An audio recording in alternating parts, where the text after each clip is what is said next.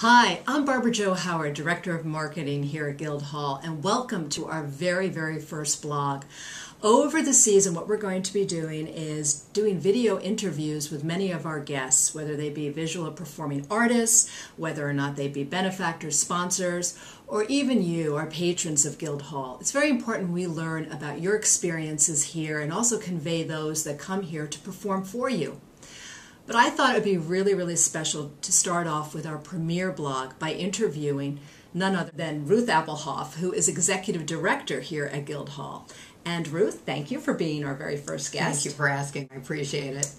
And I thought if you could just quickly tell us a little bit about what it is to be an executive director here at Guild Hall. Sure.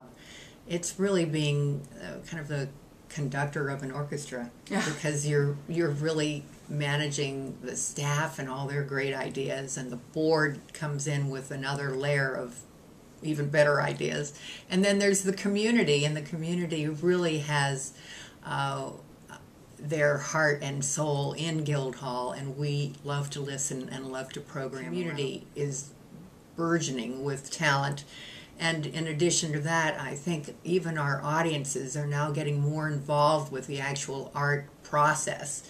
So it's not just sitting in your seat and watching somebody do it. It's uh, participating in the arts, and uh, we're all very, very excited about having this happen. And I think all the arts agencies out here are nurturing that idea, and they're all doing very well. So all of us together, I think, are make a great community.